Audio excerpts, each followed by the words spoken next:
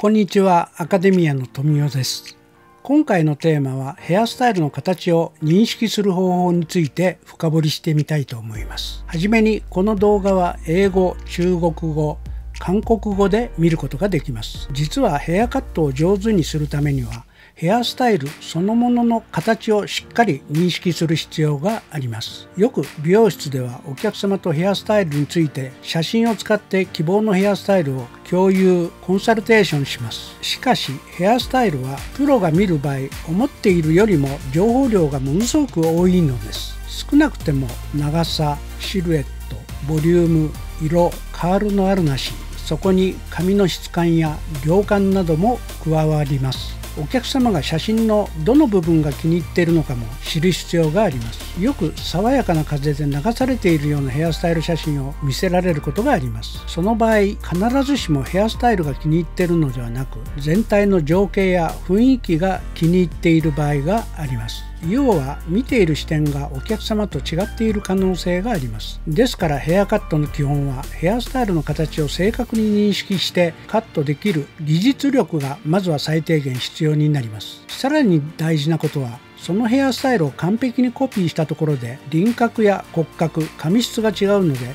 同じようにはならないということです。ですがお客様が希望しているヘアスタイルに近づけることはできます。写真から最低限ヘアスタイルの形をしっかり認識してお互いの認識のズレをすり合わせできない面とできるところを知らせてあげることでやりたいヘアスタイルの完成度が変わってきます。ではヘアスタイルの形を正確に認識するにはどうしたらよいのでしょう？今回は形を捉えるということで解説したいと思います。まずはご覧ください。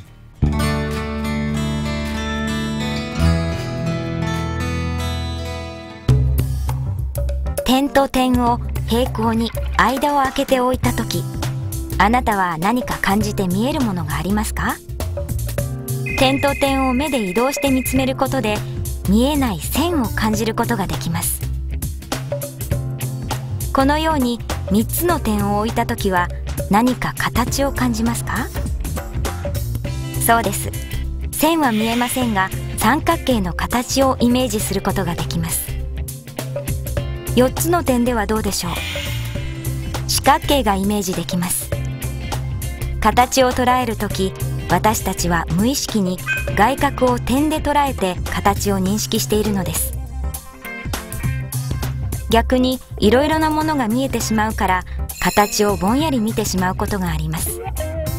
見えるものを時には見ないように意識をすること。さらに外角を点で見ることではっきり見えてくるものもあります。ですから物をシルエットで見る習慣を身につけてください。デザインされた多くのものもシルエットで見て大きく分けると丸三角四角に分類されることに気がつくと思います。ヘアデザインを認識する時もまず顔に対して大きく分けると丸三角四角のどれに当たるのかを見ます。それから細かい点を意識しシルエットで形を認識します。まず基本は見本と同じような長さバランスフォルムをそっくりに真似できるようになることです。そのために最も大切なことは作りたい形フォルムを自分の頭の中で正確にイメージすることなのです。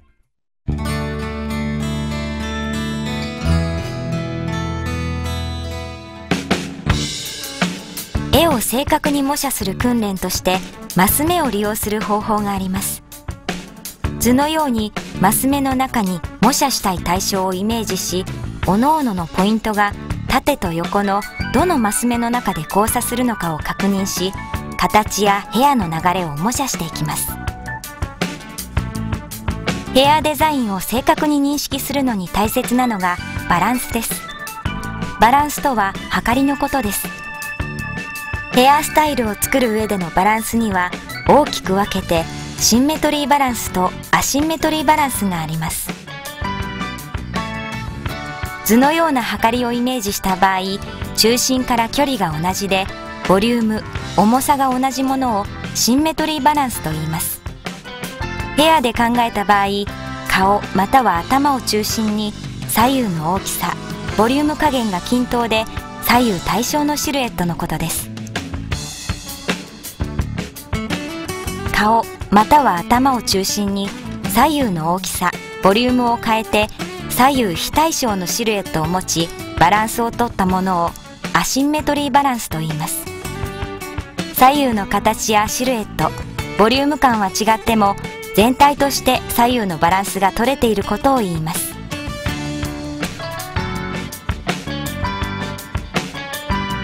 シルエットのバランスを測るには正面から見た時顎とゴールデンポイントを結んだラインを中心に左右のバランスをとり顎から左右両方の頬骨に沿った延長線上で両サイドのボリュームを測ります。またゴールデンポイントを目安としてフロントやバックの両間と膨らみを測ります。はい。ここからもう少し深掘りしていきましょう。形をしっかり認識するためには見えてないところをあえて見ないようにすることです。要は小さいところに気を取られないことです。AI のパターン認識技術の研究は人工知能研究分野として位置づけられ人間の視覚による認識機能を人工知能機械で行おうとする輪郭形状を関数式で表現することになるということですが不可能に近い難しさらしいです。しかし人間はこの認識を容易に行います。例えば車の形を一度認識すると次に同じ車を見た時に瞬時に同じ形であることが分かります。これは人間が優秀な知能を持っているということになります。子供でも自然に認識しているわけですがそれでは僕たちは実際どのように形を認識しているのでしょう？A 小さいうちはこのように大まかな輪郭形状を認識します。B のように少しだけ細かな形状がわかるようになり C のように窓の形や車のブランドマークで認識できるようになると言われています。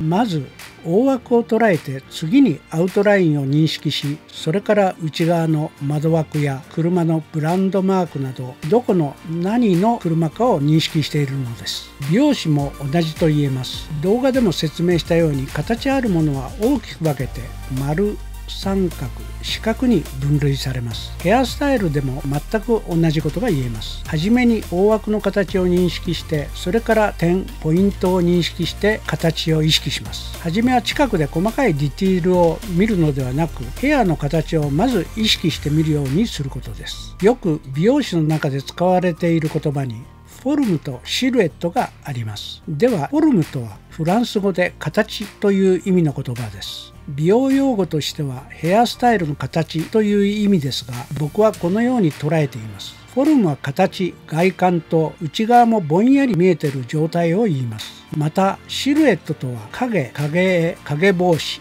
実際は見えているがあえて見ないようにして全体の形アウトラインのことを言います。ヘアでシルエットという言葉が多く使うのは外観外側の形を強く認識するためにあえて内側を見えない状態で認識するためです。影絵として形を認識することに集中させるようにシルエットと言います。ですから形を捉えるためには日頃から影外観だけを見る訓練をしましょう。そういう意味で形をしっかり認識するためには見えているものをあえて見ないでシルエットで形を感じることです。シルエットでしっかり認識して当初は完全な形を模写できるように技術力を上げることです。シルエットで形を認識したら次は点と点を見えない線で意識して輪郭に対して前から見たり横後ろから見て一番ボリュームがある点はどこかなど点で感じ取ることで顔や頭の形に対してバランスを取ることができます。アウトラインの形は無意識に点で捉え見えない線で形を意識します。顎と頭頂部を点で捉え見えない線でイメージしてデザインのポイントや前頭部や後頭部のバランスを見ていきます。もちろん垂直線や平行線も意識して平行感覚や顔周りのカットラインも襟足に向かってバランスをとります。動画で見ていただいた絵画を正確に模写する方法として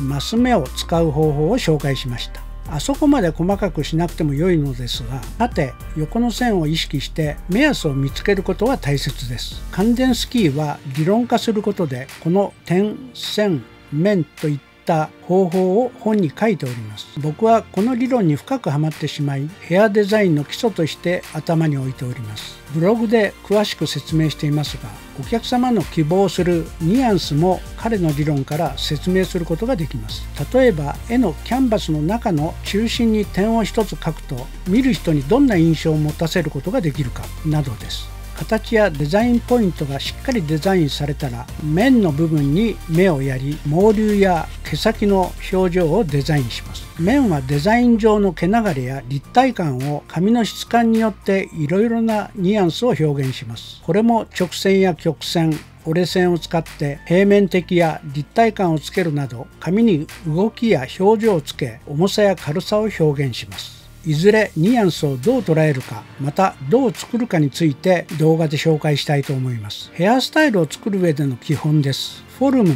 シルエットバランスボリュームラインムーブメントシェイプ。これらをいつも意識しながら作ることになりますがそのためには形を見る目を養うことです。はい以上になります。今回はヘアデザイン形をどう認識するかについて深掘りしてみました。概要欄にブログと過去動画も記載してありますのでよかったらご覧ください。気に入っていただけたらいいねボタンとチャンネル登録よろしくお願いします。では皆さんご視聴ありがとうございます。またお会いしましょう。さようなら。